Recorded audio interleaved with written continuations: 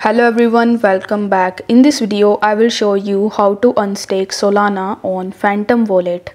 For that, you will have to launch your Phantom Wallet and once you are on the home page, you need to tap on the Solana option on the home page.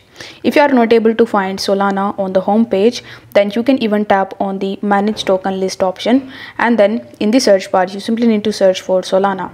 Now after tapping on Solana, you will be landed on this type of page where you are going to see the option of start earning SOL. So you will have to tap on this option and then you will be redirect on the staking page.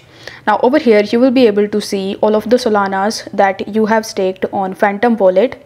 So you just have to select the solana and after that you just have to enter the amount of solana that you want to unstake.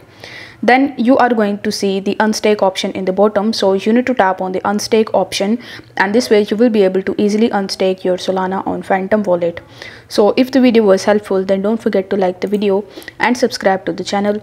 Thank you so much for watching.